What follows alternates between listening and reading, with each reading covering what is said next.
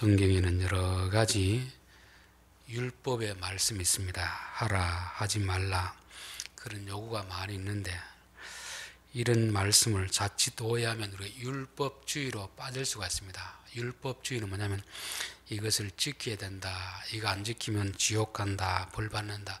이런 식으로 자꾸 지나치게 율법을 지키도록 강조하는 아, 그러다 보면 우리가 스스로 말씀을 많이 할수록 무거운 멍해를 메고 가는 그런 삶을 살아갈 수밖에 없습니다. 예수님도 어, 예수님 앞에 있는 많은 사람들에게 수고하고 무거운 짐을 진 자들아 다 내게로 오라 했잖아요. 그 짐이 삶의 무거운 짐이 아니고 유대인들에게는 이거 해야 된다, 이거 하지 않으면 안 된다. 조항들이 너무 많았습니다. 그것을 지키려고 하다 보니까 자유가 없고 평안도 없고 너무 힘든 과정이 있기 때문에 내게 와서 내게 와서 배우라 그렇게 말씀하고 있습니다. 또 한편에서는 어, 믿음으로 구원을 받았기 때문에 지킬 필요가 없다 이렇게 하는 사람들이 있습니다. 듣기 좋지만 이거는 그리스도 안에서 자유를 누리지 못하게 하는 예수 믿는 사람으로서 구원의 즐거움을 누리지 못하게 하는 그런 또 단점이 있습니다. 자, 우리가 성경을 볼 때는 왜 이런 말씀을 주셨는가? 누구에게 주셨는가? 그것을 먼저 알아야 됩니다. 성경에 나온 이야기는 예수 믿는 사람들에게 주시는 말씀이지 안 믿는 사람들에게 주시는 말씀이 아닙니다. 그 말은 결국 뭐냐면은 이 말씀을 주신 이유가 이걸 지켜서 구원받도록 주신 것이 아닙니다. 이미 구원을 해 주시고 나서 애들 이렇게 좀 지켰으면 좋겠다 하는 거잖아요. 왜냐하면 구원을 받았다는 것은 이제부터 하나님과 가족이 되었다는 말이거든요. 결혼을 하기 전과 한 후에 결혼하기 전에 행동을 똑같이 하면 될까요? 안 될까요? 안 됩니다. 그렇죠. 서로 다른 환경에서 살았기 때문에 어떤 사람이 좋아할 수도 있고 싫어하는 그런 부분이 있습니다. 분명히 남자가 싫어하는 어떤 부분이 있고 여자가 싫어하는 부분이 있잖아요. 그럼 결혼을 했으면 서로 상호 존중해주면서 남편은 아내에게, 아내는 남편에게 나는 이런 걸 좀 싫어하니까 이런 행동을 안 했으면 좋겠습니다.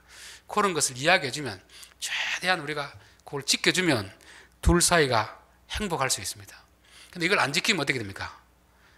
계속 싸우게 되는 거죠. 그렇게 싸울 바에 결혼을 말로 했겠습니까? 그렇죠.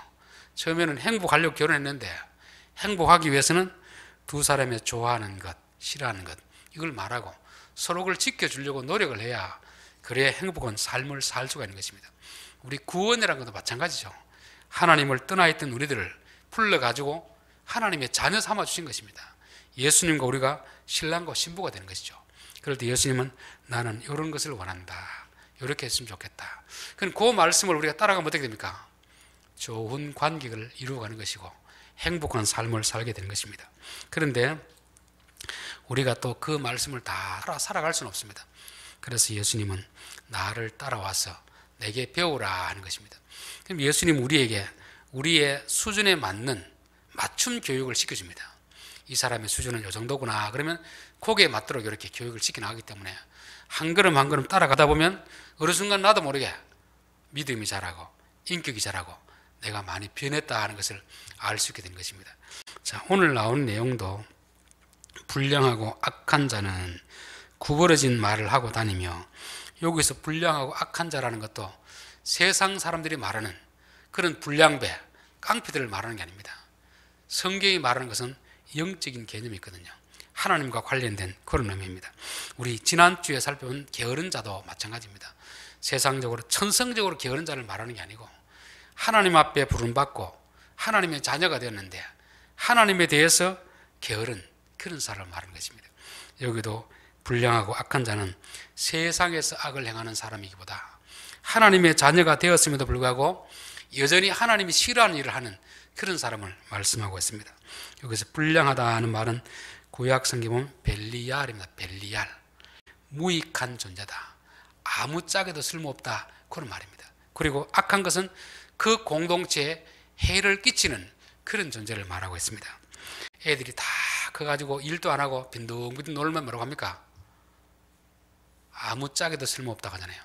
어릴 때는 뭐 공부하면 되지만 이제 졸업을 하고 했으면 뭔가 일을 찾아서 해야 되는데 아무것도 안 하고 밥만 축 내면은 밥값 좀 해라 이런 말이 하잖아요. 그 말은 뭐냐면 우리가 존재한다는 것은 어떤 조직이 있다는 것은 그 조직을 위해서 우리가 감당해야 될 역할이 있다 하는 것을 말씀하고 있습니다. 그래서 그것을 잘 감당하면은 충성되다, 부지런하다고 하는 것이고 그거를 감당하지 않으면 게으르다, 불량하다 이렇게 하는 것입니다. 예, 우리 사람 몸도 마찬가지 아닙니까? 이 몸의 모든 지체들은 다 제각각 역할이 있습니다. 역할.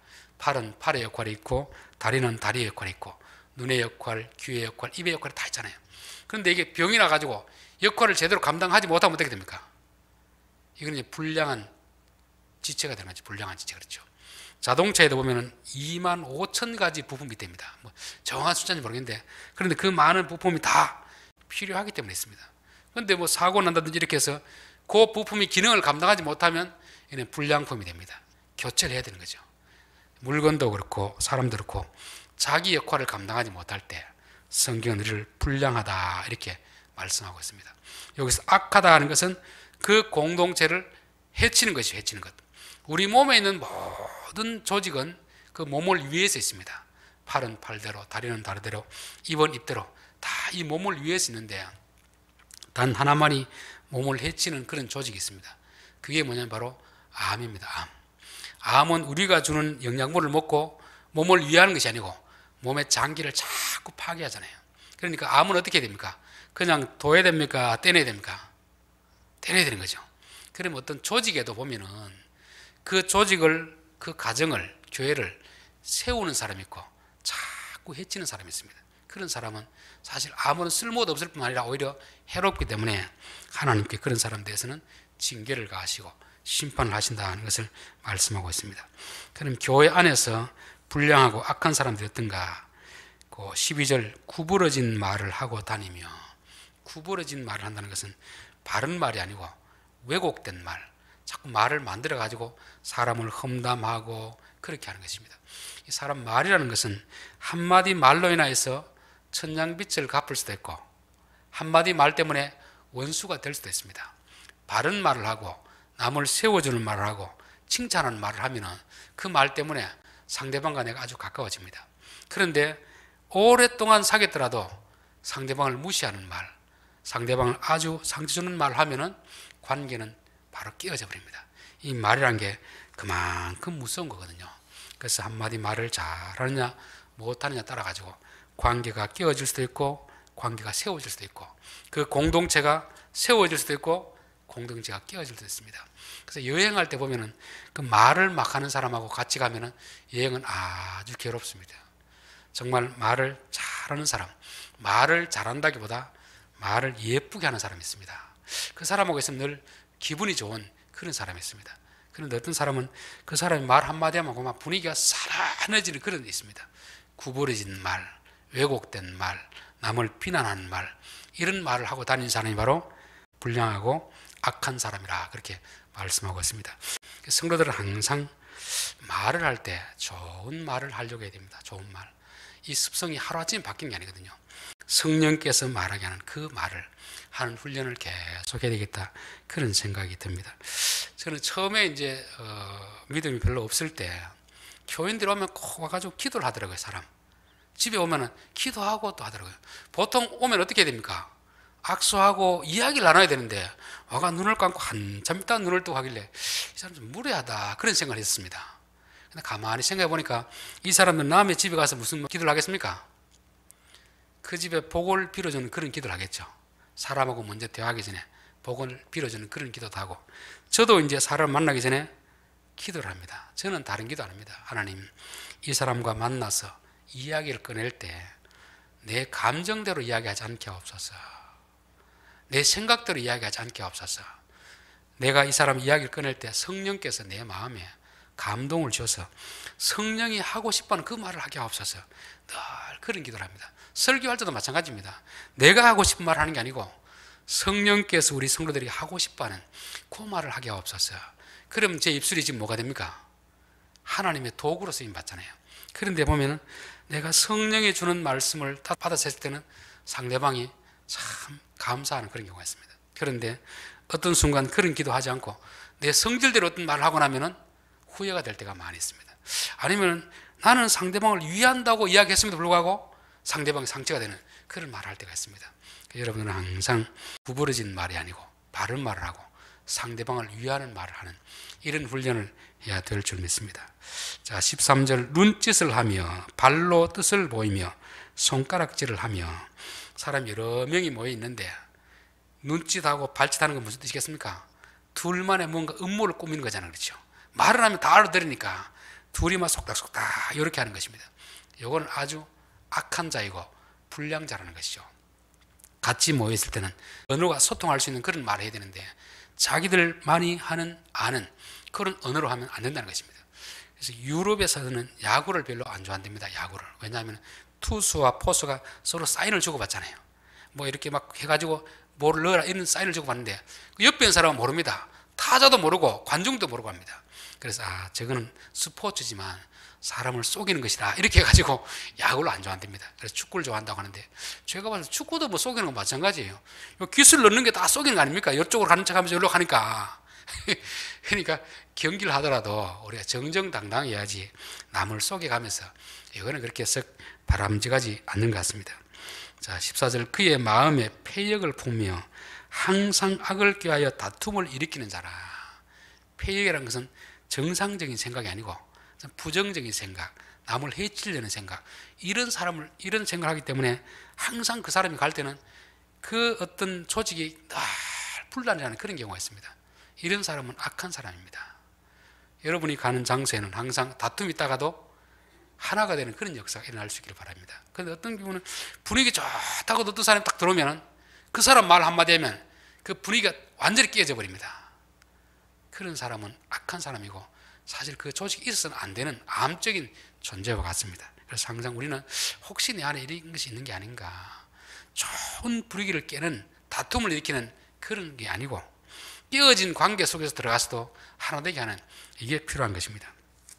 자, 15절 그러므로 그의 재앙이 갑자기 내려 당장에 멸망하여 살릴 길이 없으리라 되었습니다. 우리는 가끔씩 그런 생각할 때가 있습니다. 하나님은 어찌 뭘 하시는가? 저렇게 악을 행하는 사람들이 왜 잘 될까? 그래서 우리는 어떻게 합니까? 우리가 그 악인들을 직접 심판하려고 그렇게 나설 때가 있습니다. 그때 성경 우리에게 원수 갚는 것 너희들이 하지 말고 내가 할 테니까 내게 맡기라 이렇게 하고 있습니다.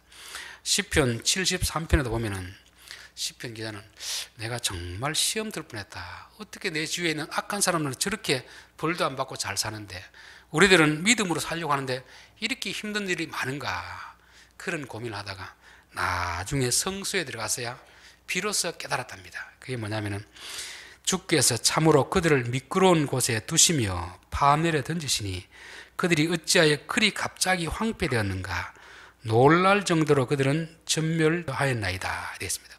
여러분 절대 여러분을 해치는 사람 여러분 힘들게 하는 사람 여러분이 직접 원수 갚으려고 하지 마십시오. 내가 아니면 안 된다 그런 생각하지 마십시오. 그것은 누구에게 맡게 됩니까? 하나님 앞에 맡기십시오. 세상에 불의한 사람들 이런 사람들 내가 친히 나서 가지고 그들을 정리하려는 생각하지 마시고 그것은 하나님 앞에 맡기고 우리는 좋은 일만 감당하면 되는 것입니다. 악역은 굳이 우리가 감당할 필요가 없습니다. 우리가 아니라도 그런 악한 자를 심판한 사람 많이 있습니다. 또 하나님이 하시기 때문에 우리가 악인을 심판하려고 하지 말고 하나님께서 다 지켜보고 계십니다. 어느 순간 보면 이들이 존재가 싹 사라진 거죠. 하나님이 다 심판하는 것을 보게 됩니다. 그래서 혹시라도 마음에 들지 않고 저런 사람을 왜 두실까 걱정하지 마시고 때가 되면 하나님께서 다 심판하신다는 것입니다. 자, 16절 여호와께서 미워하시는 것 곧 그의 마음에 싫어하는 것이 예닐곱 가지이니 됐습니다. 요거는 이제 앞에 요행을 다시금 반복해서 하는 그런 것입니다. 하나님이 싫어하는 것, 하나님이 미워하시는 것, 미워한다는 것은 혐오스러워하는 혐오, 막 토해내고 싶어하는 그런 것을 말씀합니다. 싫어하는 것도 마찬가지겠죠. 어, 우리 속담에 여우하고는 살아도 곰하고는 못 산다 그런 말 있잖아요. 쉽게 말하면 눈치가 좀 눈치. 이 남편이 뭘 좋아하는지 뭘 싫어하는지 눈치가 있어야 되지. 아무리 말을 해도 못 알아들으면 이게 답답하잖아요. 그렇죠? 눈치를 영어로 하면 센스입니다. 센스. 센스가 있어야 되고 우리 구약 성경으로 말하면 명철. 뭘 좋아하는지 뭘 싫어하는지 신약으로 말하면 분별 얘기입니다. 분별력. 그래서 우리가 하나님이 뭘 좋아하는지, 뭘 싫어하는지 이걸 분별해야 됩니다. 부부지간에도 제가 봤을 때는 좀 행복하려고 하면 말을 안 해도 남편이 뭘 좋아하는지, 아내가 뭘 좋아하는지 요 눈치가 있어야 됩니다. 눈치 그렇죠. 꼭 말을 해야 하는 게 아니고 아 눈치 보고 아 우리 남편이 오늘 좀 기분이 안 좋구나. 우리 아내가 뭔가 좀 많이 지쳐 있구나. 이런 눈치를 가지고 그들이 좋아하는 것하고 싫어하는 거 안 해야 됩니다. 성경에서도 마찬가지입니다. 하나님이 이렇게 기록해 놓은 것은 이런 거 싫어하니까 이런 행동하지 말고 좋아하는 행동하라 하는 거잖아요. 내가 싫어하는 행동을 계속 하는 사람하고 친하게 지낼 수는 없습니다. 그렇잖아요. 근데 내가 좋아하는 행동을 계속 하는 사람하고는 자꾸 마음이 가게 되어 있습니다. 그래서 우리가 관심이 하나님이 뭘 좋아하실까? 하나님 뭘 싫어하실까? 우리가 늘 거기에 관심을 가져야 됩니다. 집에서도 자녀들은 항상 관심을 가져야 됩니다. 우리 부모님이 뭘 좋아할까? 우리 부모님이 뭘 싫어할까? 그렇게 되면 부모는 그렇지 않아도 자식을 위하는 마음이 있는데 자식이 그런 마음을 가지고 있으면 더 해주고 싶고 다 주고 싶은 것이 부모 마음이잖아요. 그래서 저는 우리 성도들 가운데서도 자녀들에게 그런 부탁을 합니다. 믿음이 없더라도 나를 낳아준 부모님이 제일 기뻐한 것이 무엇인가? 그걸 한 시간 못 해주느냐? 적어도 자식이라고 한다면 부모에게 효도한다고 마음이 있으면 믿음은 둘째치고라도 부모를 존중하는 마음이고 부모님이 기뻐하는 것을 해주려는 마음이 있으면 그 정도는 충분히 해줄 수 있다. 저는 그렇게 믿습니다. 그래서 우리가 항상 하나님이 우리를 위해서 아들을 주셨는데 그분을 위해서 그분이 기뻐하는 걸 우리가 못하면 되겠습니까? 비록 조금 힘이 들더라도 아 이걸 하면 하나님 기뻐하신다 그런 게 있으면 우리가 기쁜 마음으로 해야 될 줄 믿습니다. 자 오늘 나오는 것은 하나님이 싫어하는 것, 막 토하고 싶도록 혐오하는 것입니다. 이건 해야 되겠습니까? 안 해야 되겠습니까? 이런 것은 안 하려고 몸부림을 쳐야 되겠죠. 그게 뭐냐면 에, 교만한 눈입니다. 교만한 눈, 교만한 눈. 이 마음에 교만함이 있으면 사람 눈으로 나타납니다. 사람은 교만할수록 남을 무시하는 그런 경향이 있습니다. 그런데 직장에서도 보고 어떤 사람들 볼 때 지위가 높으면 아래 사람을 조금 무시하는 태도가 있고 그 무시하는 건 눈에 다 드러나거든요. 사람을 대하는 태도가 안 나고. 그러니까 아 교만한 것은 하나님만 싫어하는 것이 아니고 사람들도 싫어하는구나. 그래서 절대 우리는 남들보다 조금 돈이 많다든지 지위가 있더라도 절대 교만해서는 안 되겠다. 항상 겸손한 마음을 가져야 되겠다. 그런 마음이 드는 것입니다. 그 다음에 거짓된 혀. 앞에 말하는 구분 말, 비뚤어진 말이나 거짓된 혀는 똑같잖아요. 말은 진실을 말해야 사람이 친해집니다. 상대방을 위해는 말을 해야 서로 친해지는데 상대방을 무시하는 말하고 거짓말하고 하는 것은 사람도 싫어하고 하나님도 싫어하는 것입니다. 자, 17절 무지한 자의 피를 흘리는 손과 남을 자꾸 해하는 거죠. 내게 힘이 있으면 그 힘을 가지고 남을 해치라는 게 아니고 약한 자를 도우라고 하시잖아요. 나보다 약한 자에게 내 힘을 가지고 때리는 것은 하나님이 아주 싫어하시고 혐오하는 것이다. 그렇게 말씀하고 있습니다. 자, 18절 악한 계교를 깨하는 마음과 빨리 악으로 달려가는 발과 됐습니다. 늘 마음 생각이 마음에 어떻게 하면 저 사람을 해칠까? 어떤 사람 저 사람을 무너뜨릴까? 이런 생각.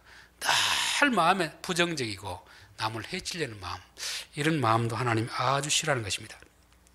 어, 마태복음 5장 29절에 보면 만일 내 오른 눈이 너로 실족하게 하거든 빼어버리라. 만일 내 오른 손이 너로 실족하게 하거든 찍어내버리라. 이거 진짜 말씀 그대로 해가 막 진짜 눈 빼고 손 찍으면 다 장애인 다 되잖아요. 그렇죠? 그 말은 뭐냐면 우리 몸에 있는 지체가 나를 죄를 짓게 하는 쪽으로 사용되지 않도록 하라는 것입니다. 여기에 쭉 하나님이 싫어한다고 하는 것들은 우리 안에도 뭐 일곱 가지 다 있는 사람도 있고 한두 가지 있는 사람도 있고 누구에게 다 있습니다. 남에게 있는 것이 아니고 우리에게 있다는 것이죠. 그럼 이런 것이 있으면 아 하나님 싫어하니까 이것을 우리가 빨리 없애야 되겠구나. 우리 몸에 암이 있으면 빨리 제거시키는 것이 지혜로운 사람듯이 우리 자신을 자꾸 멸망의 길로 이끌고 다른 사람을 힘들게 하는 그런 요소가 있으면 빨리 고쳐 나가야 되는 것입니다. 자, 19절 거짓을 말하는 망령된 증인과 형제 사이를 이간하는 자니라. 어, 우리가 남에게 바른 말을 해주면 그 사람이 억울하면서 벗어날 수가 있습니다. 그런데 어떤 사람은 그러지도 않은데 불구하고 자기하고 둘이서 어떤 공모를 해가지고 사람을 모함하는 거짓 증인으로서 역할하는 사람이 있습니다.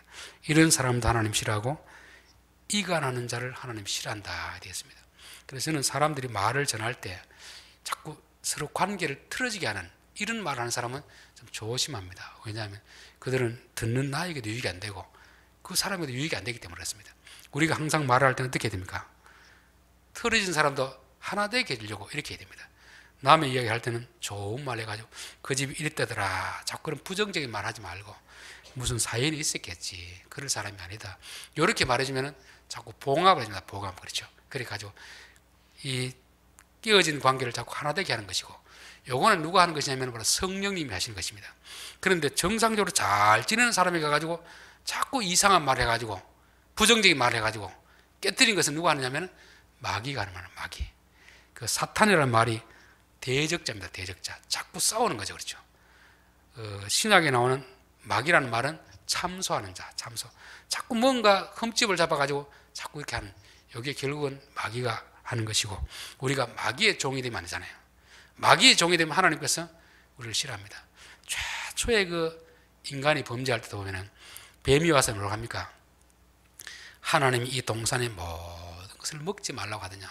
하나님은 여기 있는 거 다 먹고 하나만 먹지 말라고 하는데 마귀는 와서 살짝 말을 돌려가지고 이거 다 먹지 말라고 하더냐. 그 말을 듣는 하와 마음속에는 고만 하나님이 더 섭섭한 마음이 생기는 것입니다. 둘 사이를 이간시키는 거죠. 그래서 여러분 주위에도 자꾸 관계를 갈라지게 하는 사람과는 그렇게 가까이 하면 안 됩니다. 그 사람 멀리 해야 됩니다. 근데 어떤 사람은 자꾸 관계를 좋게 하는 그런 사람이 있습니다. 그런 사람을 가까이 해야 되고 우리가 다른 사람에 대해서도 늘 좋게 말해야 합니다. 그런 사람이 무슨 뭘 죄를 지었더라 하면은 그 사람이 원래 그런 사람이 이렇게 하면 안 되고 뭔가 잘못 알았겠지. 원래 그 사람 그런 사람이 아닌데 좋은 사람인데 이렇게 말해야 관계를 좋게 만들어주잖아요. 그렇죠? 자, 오늘 보면 일곱 가지 하나님께서 싫어하는 것. 요거는 너희들이 안 해야 좋겠다 하는 것입니다. 그래서 하나님 좋아하는 것은 뭐겠습니까? 요 반대 아닙니까? 반대 그렇죠. 교만한 눈보다는 겸손한 눈. 그렇죠. 남을 해치는 손보다는 남을 도와주는 손. 어려운 사람에게 힘든 사람 일으켜주고 세워주는 그런 것. 그래서 여기서 반대로 생각하면은 아, 내가 뭘 해야 되고 뭘 안 해야 될지 그게 나오게 되는 것입니다. 이건 하나님과의 관계도 마찬가지고 사람과의 관계도 어떻겠습니까? 똑같겠죠. 그렇죠. 요 원리는 거의 뭐 비슷하게 적용되는 것입니다. 자, 오늘 결론입니다. 불량하고 악한 자라 하는 것은 세상의 깡패를 말하는 게 아니고 관계를 깨뜨리는 그런 사람 말하고 있습니다. 관계 어떤 공동체 아무런 유익을 주지 못하는 왜냐하면 게으르기 때문에 자기를 생각하다 보면은 자기 편한 걸 생각하려면은 공동체의 유익이 되지 않습니다. 그래서 저는 항상 어떤 일을 할 때 이게 조금 힘은 들겠다 싶어도 몸은 힘들어도 마음이 편한 쪽을 선택합니다. 그런데 아이고 이거 하기 싫은데 남이 하겠지. 밀어놓으면은 몸은 편해도 마음은 불편합니다. 그래서 성도는 항상 이게 편한가 안 편한가 중요한 게 아니고 이게 내가 해야 될 것다 일이다 싶으면 하는 게 몸은 피곤해도 마음은 좋습니다. 그리고 공동체에게 꼭 필요한 존재가 되는 거죠. 요즘 너무 이기적이라서 자기 일 아니면 안 하는 그런 사람이 있습니다. 남에게 자꾸 맡긴 사람이 있습니다. 이런 사람은 공동체에서도 사랑받지 못하고 왕따를 당합니다. 그렇기 때문에 우리는 항상 내가 해야 될 일도 해야 되지만 남들이 해야 될 일이라도 내가 할 수 있으면 도와주는 그런 마음이 필요한 것이죠. 그래서 우리 손이 악을 행하는 도구가 아니고 선을 행하는 도구가 되면 이 손에 하나님이 복을 주시는 것입니다. 또 사람이 있을 때는 구부러진 말 하면 안 됩니다. 구부러진 말 그렇죠.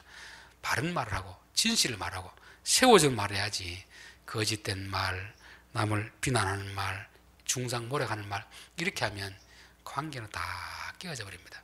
절대 우리 성도들의 입술에서는 불평하는 말, 원망하는 말, 비난하는 말은 자꾸 안 하도록 자꾸 몸부림쳐야 됩니다. 한마디를 하더라도 말 한마디 천장빚을 갚잖아요. 기분 좋은 말하면 상대방도 듣는 사람도 좋고 하는 사람도 좋은데 굳이 꼭 나쁜 말을 해가지고 서로 기분이 안 좋을 그럴 이유가 없잖아요. 그래서 하나님 앞에도 그렇고 사람 앞에도 우리 항상 바른 말, 세워주는 말 이런 말을 해야 될줄 믿습니다. 하나님이 싫어하는 것 일곱 가지 이거 하나님 너무 싫어합니다. 사람도 마찬가지로 부부간에도 남편이 싫어하는 건안 하는 게 좋습니다. 아내가 싫어하는 건안 하는 게 서로가 좋은데 싫다고 하는데 굳이 그걸 끼얹게 한다는 것은 이 결혼 관계에서도 계속 트러블이 생길 수밖에 없잖아요.